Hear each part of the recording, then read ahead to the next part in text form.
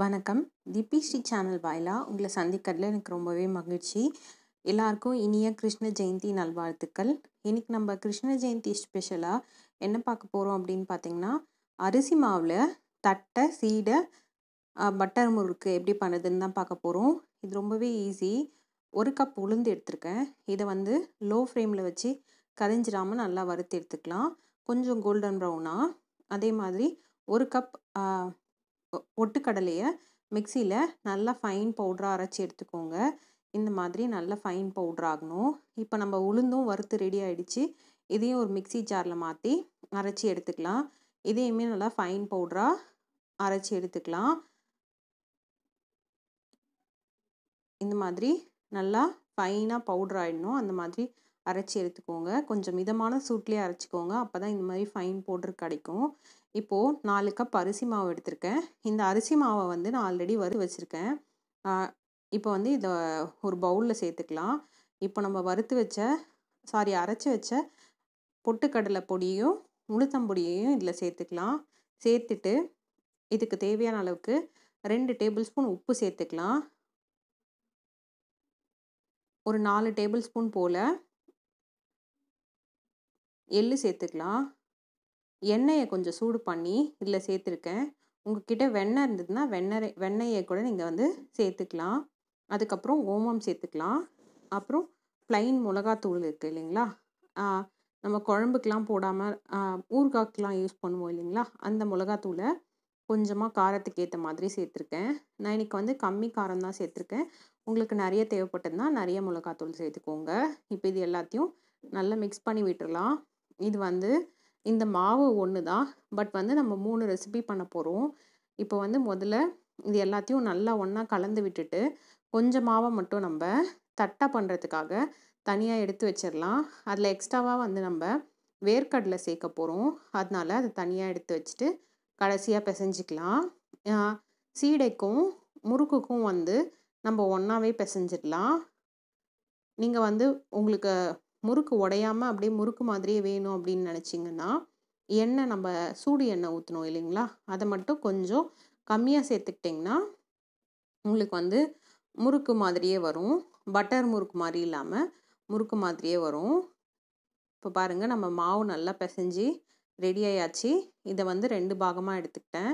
ஒன்றுத்தில் வந்து சீடை பண்ண போகிறோம் ஃபஸ்ட் இப்போ நம்ம சீடை பண்ணிடலாம். இன்னொரு ஆஃபில் முறுக்கு பண்ணலாம்.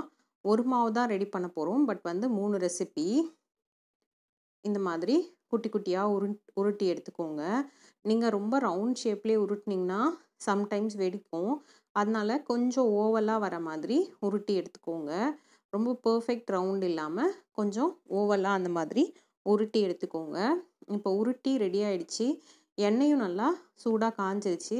இப்போது இதில் வந்து நம்ம உருட்டி வச்சுருக்க சீடை எல்லாத்தையுமே சேர்த்துக்கலாம். உங்களுக்கு கையில் போடுறதுக்கு கொஞ்சம் பயமாக இருக்க மாதிரி இருக்குது அப்படின்னா நீங்கள் கரண்டியில் கூட போட்டு இந்த மாதிரி சேர்த்துடலாம். இது வந்து ரொம்ப எண்ணெய் இழுக்காது. ரொம்ப பொருட்களும் இதுக்கு தேவையில்லை. ரொம்ப கம்மியான பொருள் தான் தேவை. சீக்கிரமாகவே பண்ணிடலாம். நீங்கள் இந்த மூணு ரெசிப்பியுமே சேர்த்து பண்ணுறதுக்கு உங்களுக்கு ரொம்பவே கொஞ்சம் டைம் தான் தேவைப்படும். பாருங்கள் நல்லா கோல்டன் ப்ரௌனாக பொரிஞ்சு வந்துருச்சு. நம்மளோட டேஸ்டியான சீடை ரெடி ஆயிடுச்சு. அவ்வளோதாங்க. இப்போது நம்ம இதில் முறுக்கு எப்படி பண்ணுதுன்னு பார்க்க போகிறோம் எண்ணெய் அவ்வளோவா இழுக்காது. நல்லா கிறிஸ்பியாக க்ரன்ச்சியாகவும் இருக்கும். உள்ளே அதே சமயம் சாஃப்டாகவும் இருக்கும். ரொம்ப கல் மாதிரி ஹார்டாலாம் இருக்காது. சீடையும் சரி முறுக்கு தட்டை எல்லாமே. இப்போது ஒரு முறுக்கு குழா எடுத்துட்டு அதில் உள்ள மேலே எல்லாத்துலேயும் எண்ணெய் தடவிக்கலாம். எண்ணெய் தடவிட்டு இப்போ நம்ம பிசைஞ்சி வச்சுருக்கோம் இல்லைங்களா?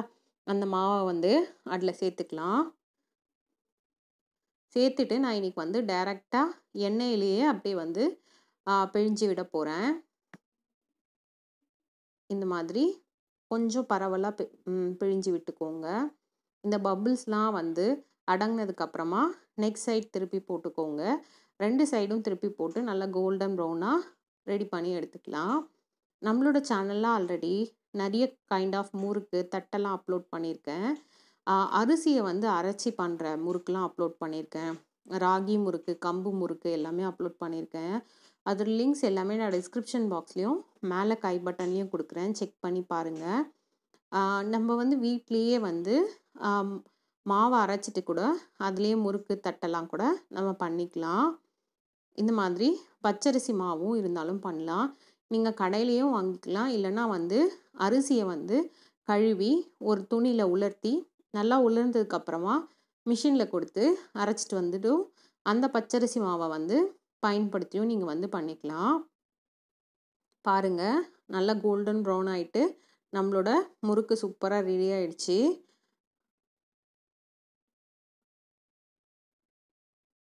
அவ்வளோதாங்க எடுத்துடலாம் இப்போ நம்ம. உங்களுக்கே பார்த்தா தெரியும். அந்த பப்புள்ஸ்லாம் வந்து நல்லா அடங்கி வந்துருச்சு. ஸோ நம்ம முறுக்கு ரொம்ப பர்ஃபெக்டாக ரெடி ஆகிடுச்சு கலர் வந்து ரொம்ப பர்ஃபெக்டாக இருக்குது நம்மளோட முறுக்கும் ரெடி ஆகிடுச்சு நெக்ஸ்ட்டு வந்து நம்ம தட்டை எப்படி பண்ணுறதுன்னு தான் பார்க்க போகிறோம் இதுக்கு எக்ஸ்ட்ராவாக வந்து வேர்க்கடலை தான் ஆட் பண்ணியிருக்கேன். நீங்கள் வந்து சாமிக்கு வைக்கல அப்படின்னா வேர்க்கடலை மட்டும் போதும். சாரி சாமிக்கு வைக்க போகிறீங்கன்னா வேர்க்கடலை மட்டும் போதும். இல்லைன்னா கூட கொஞ்சம் பூண்டு சேர்த்துக்கலாம். காரம் வந்து தட்டைக்கு இன்னும் கொஞ்சம் தேவைப்பட்டதுன்னா நீங்கள் அரைக்கிற மிக் மிக்ஸிலே வந்து நீங்கள் கொஞ்சம் காஞ்ச மிளகாவையும் சேர்த்து அரைச்சிக்கோங்க. உங்களுக்கு கலர் அப்பியரன்ஸ்லாம் சூப்பராக இருக்கும். இப்போது இதை நல்லா இந்த மாதிரி குட்டி குட்டி பால்ஸாக உருட்டி நல்லா தட்டி எடுத்துக்கலாம்.